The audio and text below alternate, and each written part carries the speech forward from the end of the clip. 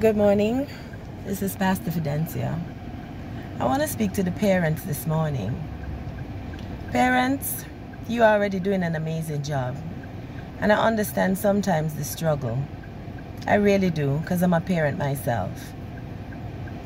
But I want to talk to you about your prophetic actions. Prophetic actions when you throw your hands up in the air and you declare you can't go with your children anymore. You wash your hands from them. Those are prophetic words, prophetic actions.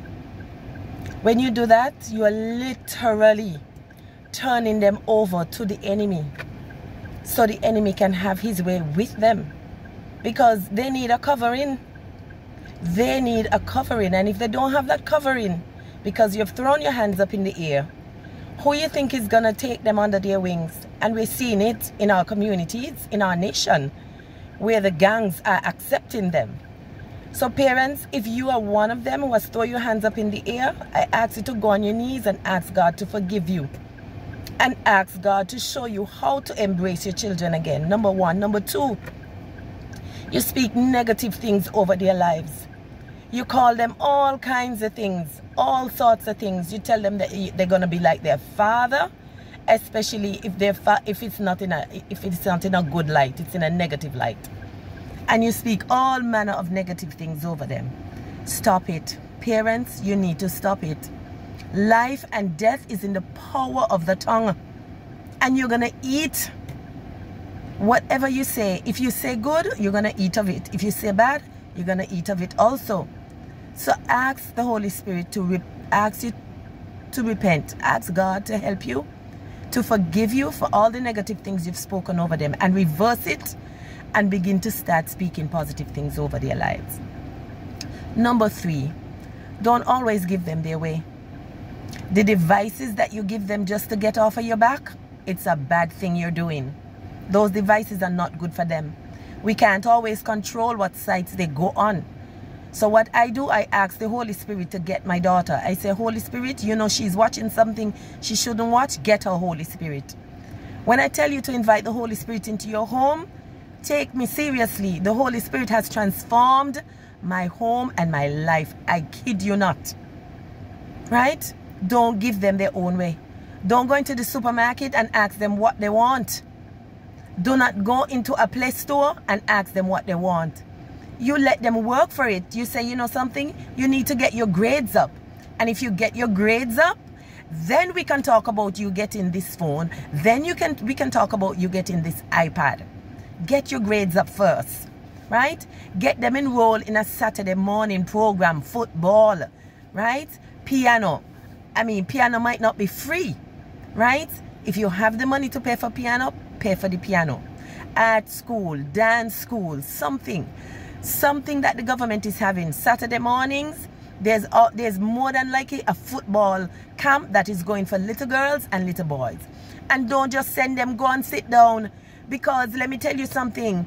They have a lot of lesbians and gays in these areas lurking around to watch your children. So just don't send them. Go with them. Sit down and watch them. They, they love when you come and spend time with them. My daughter just said, Mommy, you come in? Yes, I'll be there. I might not be there, but daddy gonna be there. Right? If some if you can make it, please try to get somebody to go and somebody who you trust. And number four, I want to talk to you about Sunday morning. Right? The children laying down in their bed, sleeping while the enemy out there rampant. Huh? Get them in church. Get them in a Bible believing church a church that is going to teach them spiritual warfare because their spirits need to be fed just like me and you. Right? Don't talk about, oh, they ain't got no church clothes. They ain't got no church what?